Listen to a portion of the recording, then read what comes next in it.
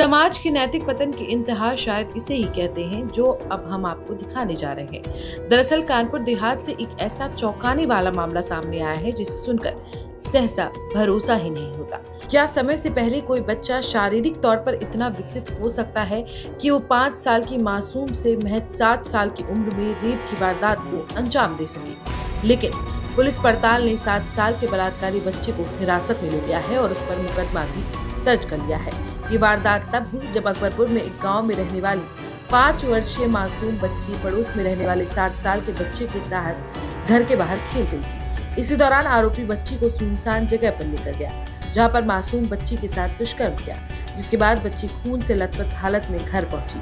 मासूम बच्ची ने रोते हुए माँ को बताया कि पड़ोस में रहने वाले भैया ने उसके साथ गंदा काम किया है।